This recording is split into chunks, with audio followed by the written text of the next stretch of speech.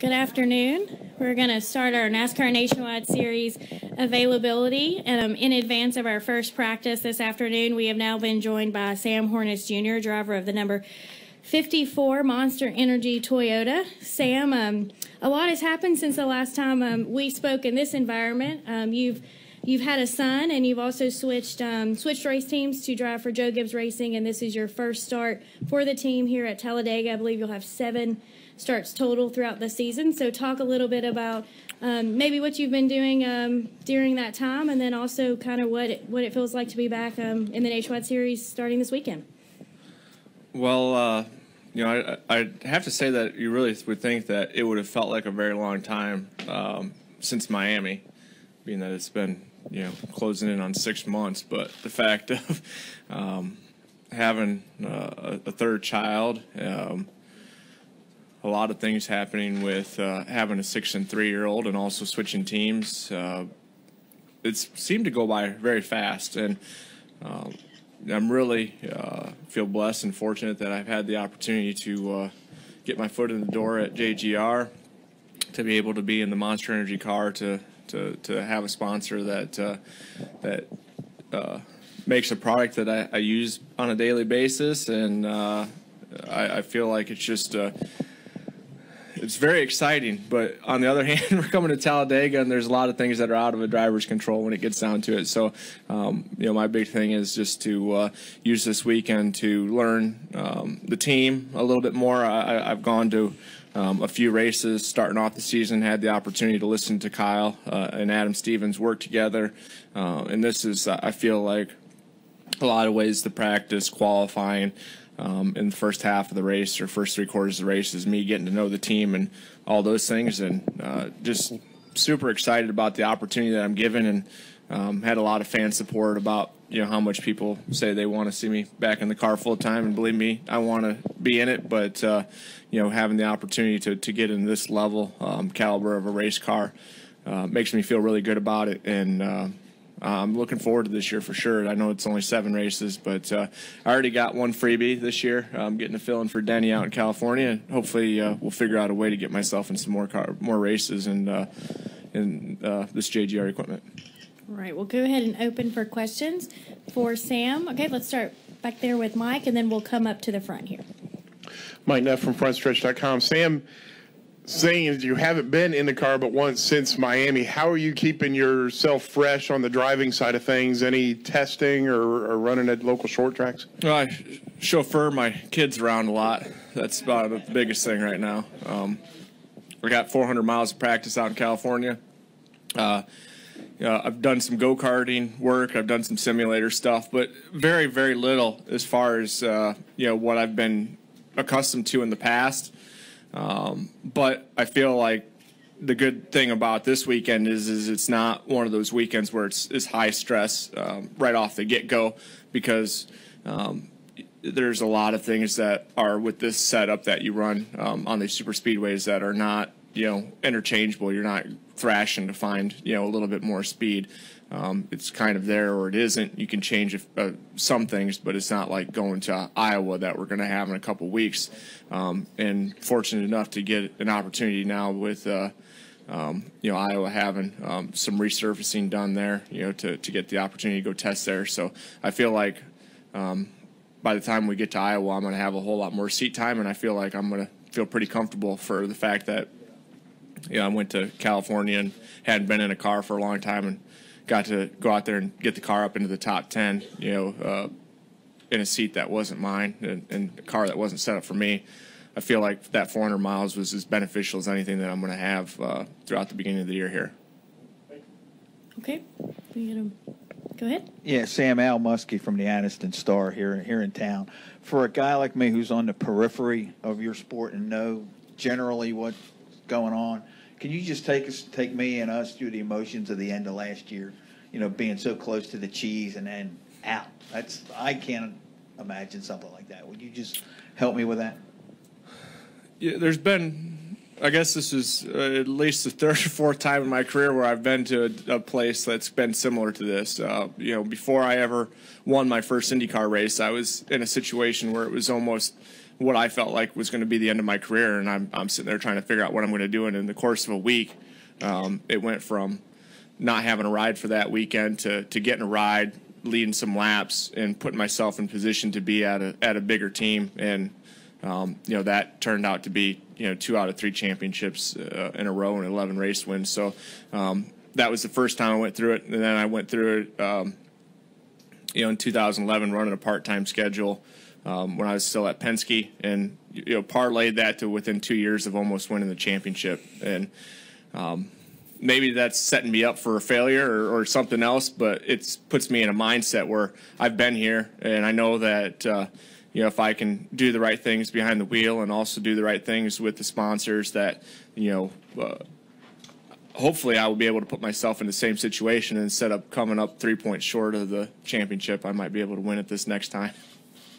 And then just, a, just to just to follow on that, did did you when it happened when the end of the last one came?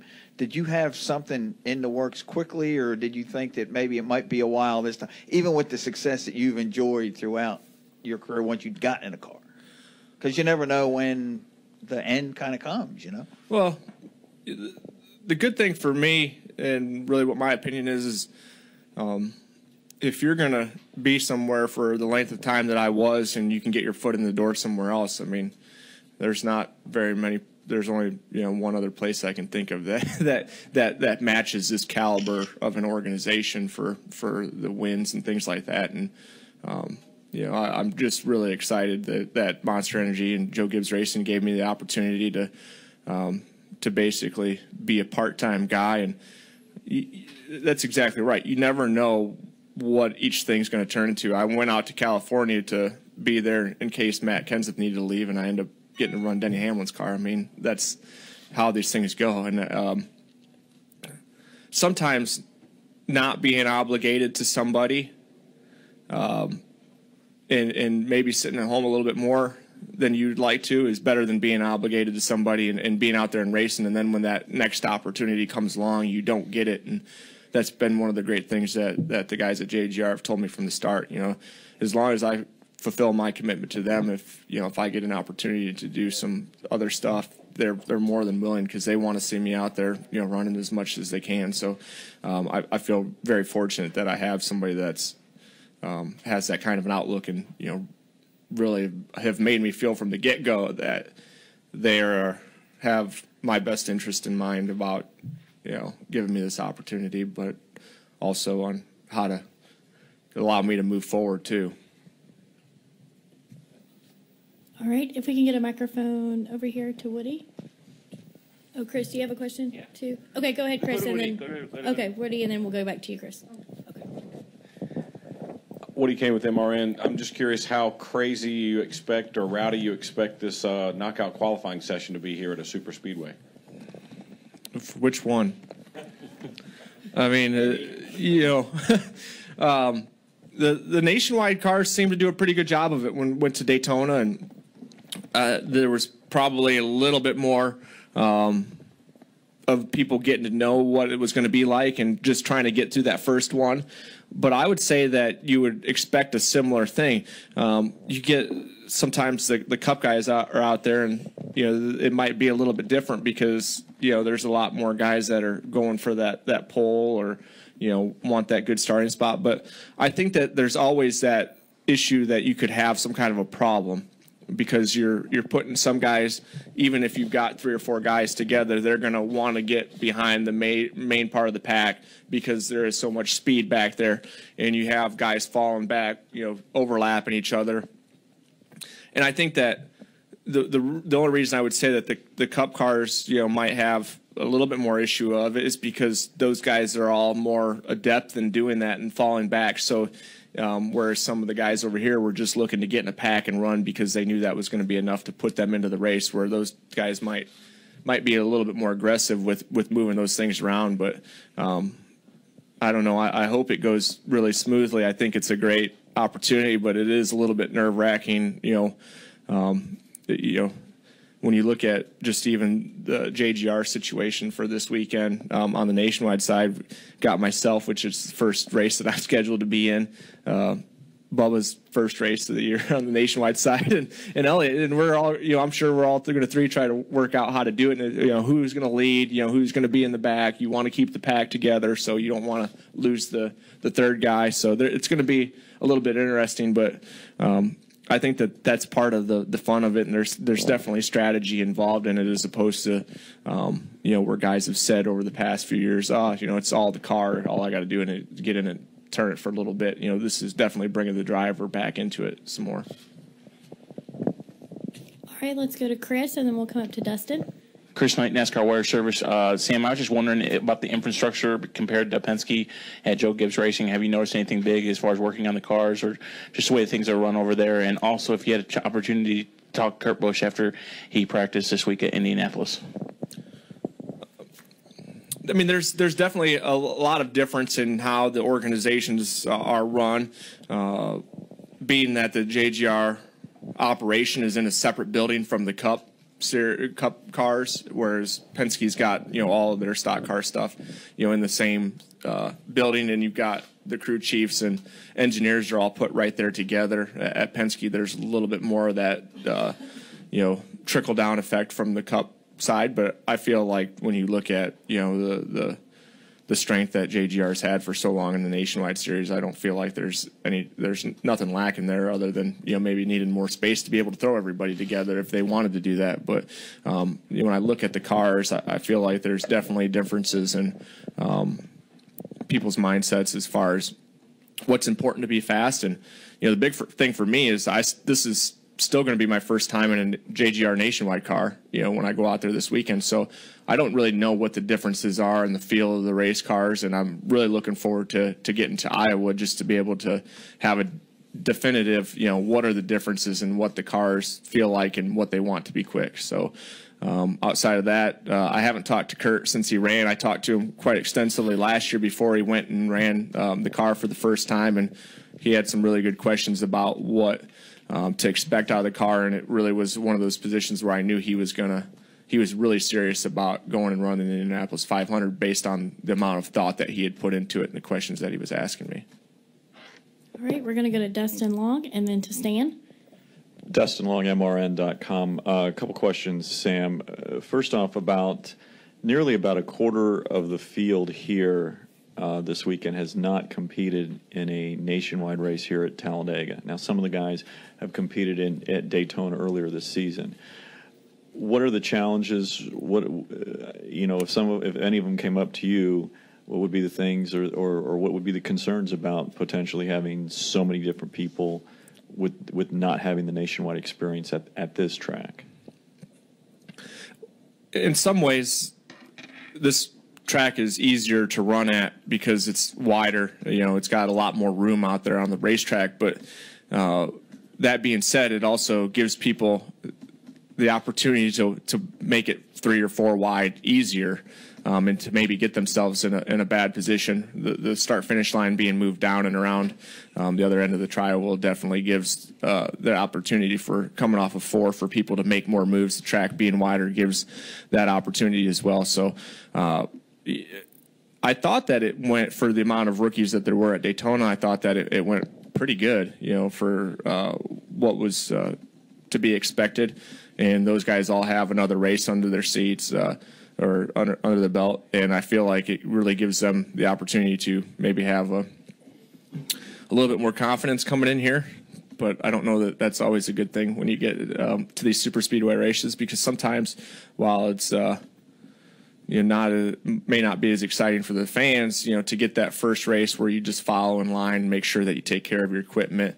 Um, you know you you feel like you're just out there learning you know that that might put you in a little bit better position as opposed to all right I got this figured out now I'm going to figure out how to get to the front. And really uh, this package the way that it's changed um, even there's there's been some small tweaks to it from what I ran last in these cars. And I'm excited to see what the differences are at Talladega, um, just based on the fact that the track is uh, enough wider to give people more opportunities to move.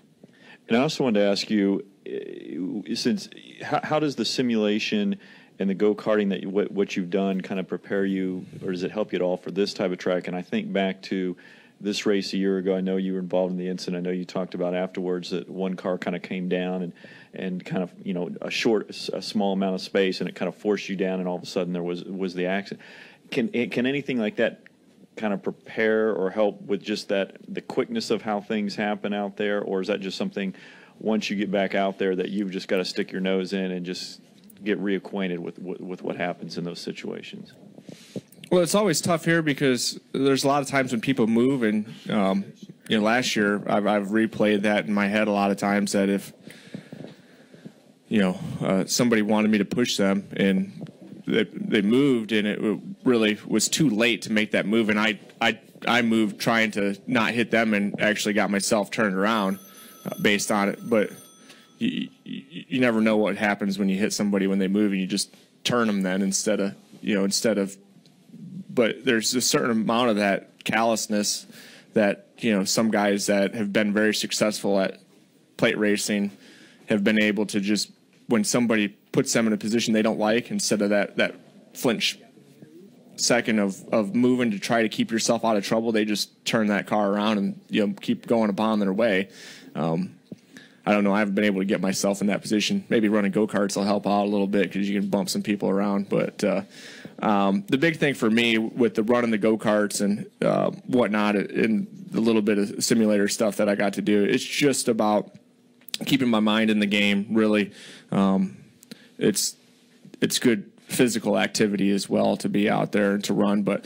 Uh, you know, there there just hasn't been enough of an opportunity for me to really do it the way that I, I would like to. And I would say that I could have went out and ran 20 go kart races and you know been in the simulator for three days and it it wouldn't have pre- prepared me as much or gave me as much uh, uh, is what that race in California did. You know, the fact that I got to go run 400 miles out there really, I mean, it just knocked the dust off and gave me an opportunity to get in a car and to talk on the radio and to think about some of the things that I maybe could have done better. And working with different people a lot of times is a good good help because you can you can figure out what people like and what they don't like, and you know what you like about them as well. So um, I, I, there's no substitute for that seat time and being in a in a actual stock car and running around. All right, Stan, go ahead. Hi, Stan Creekmore with RPMTonight.com. Sam, it's going to be you and two other guys that you've mentioned, Elliott Sadler and your other teammate in, in qualifying. Number, is that going to be enough to put together a speed that could give you a chance to sit on the pole? Not just the three of us hooked up isn't going, to be able to do that, but it, it being able to get behind the pack and to use what you know that pack is doing, the amount of air that they're moving. That's what gives you those opportunities for being on the pole.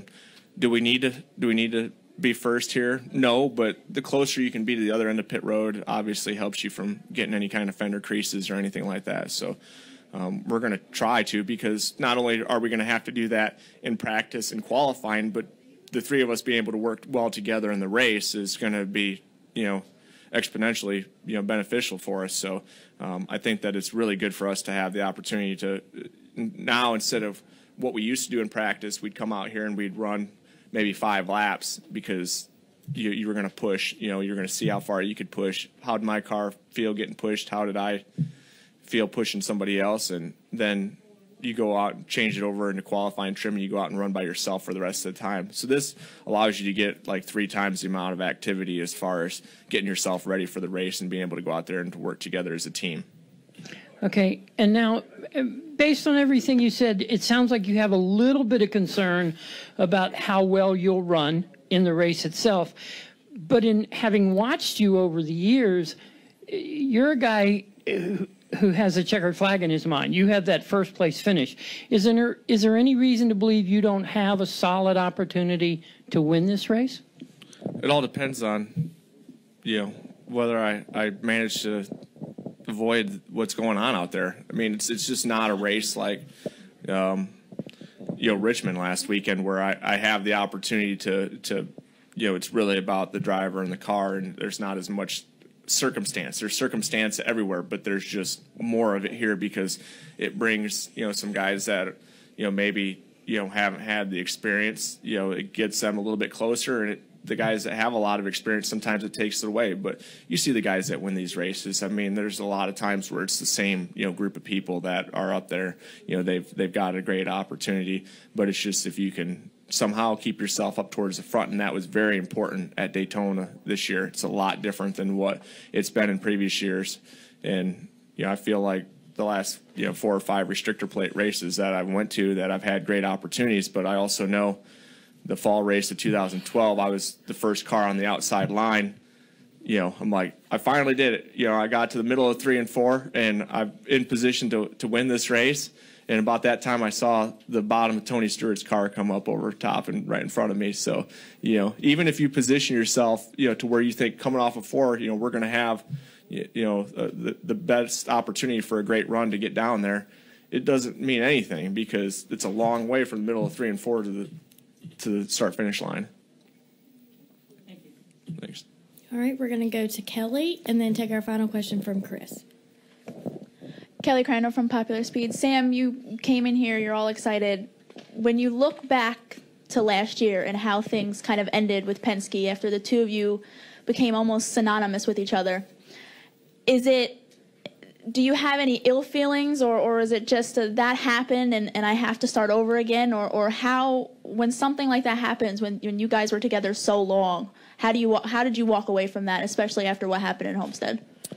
Well if we would have went out as champions it would probably have been a little bit easier to deal with but I feel like a lot of that's in the past and I remember all the things that that Roger did for me and I remember you know doing my best to live up to the things that he expected for me. And I feel like we both could have done things better um, along the way, but we both did some pretty good things uh, as a group together. And if you hold on to any kind of hard feelings or anything like that, I, I know why they did what they did, and I'm not kind of person that holds grudges, so I'm more excited about the opportunity that I have moving forward than I ever will be about thinking, you know you know, of what could have been. So it, it, I'm a, I'm a kind of person that is, you know, I guess the glass is half full. I'm an optimist, and I'll, I'll, put a lot of stuff behind me and just move on because I, I also remember that, you know, I, I started driving for Roger because I wanted to win the Indianapolis 500, and I started driving over there. He hired me because he wanted to win an IndyCar championship and we both did that together. So I won my Indy 500. He got his championship, and um, it makes me feel pretty good that we started off on the right foot, and maybe from there we didn't always go hand in hand, but almost won a championship. And uh, man, it's it's uh, it's always easier if you think back uh, if everything would have went perfect. But man, I, am just um, I had some some opportunities going uh, towards the end of last year, and when I got the the call that I I was going to uh, maybe have the opportunity to run the the Monster Energy car, and I had the opportunity to sit down with Joe and JD. I walked out of that meeting. I'm like, I got to give it 24 hours because right now everything in my brain tells me to to go ahead and to sign up, you know, whatever they want, you know, go for it because I felt like they you know, they were the kind of people and the way that they presented themselves and the things that they said in that first meeting just made me feel like this is exactly what I need to do. And I, I felt the same way after 24 hours and the same way after 48 hours and the same way after 48 days. So I just feel like it's a really good, good opportunity for me. And I'm just, it's uh, really been difficult to wait five months to be able to do something with it. But on the same hand, um, patience is a virtue. So I'll do what I can. All right, we'll take our final question from Chris. Go ahead. Sam Chris Knight from NASCAR Wire Service again. Uh, Iowa Speedway announced earlier today that you're going to test there, I believe on the 6th. I just was wondering how crucial that test is going to be with Joe Gibbs. And then also, I think going back there for the race weekend, there's a big uh, test session on Friday before actually everything gets rolling on Saturday. I just wonder if you could talk about that. I think it's really beneficial for us to have that opportunity because it uh, allows me and Adam Stevens, all the other guys on the team, to get one more day of you know working together. And we were already excited that we had a little bit of a test day that Friday leading up to the race. So I feel like this is even better. Uh, it's a it's a great opportunity, and that's the biggest thing is is really getting that communication down. And I can go into Adam Stevens' office and I can talk to him about all the things that I want to do, um, or and listen to him about all the things he wants to do. But until you get into that let's go to the racetrack, let's run laps, we'll talk about the car, what it needs to be better, finding out what the key things are that everybody hits off of. It, there's no uh, there, there's nothing that you can do that prepares you for that. You know, you just got to go and uh, get those opportunities. So the fact that we've got one more day to work on it is, a great, uh, you know, great help to me, in my opinion.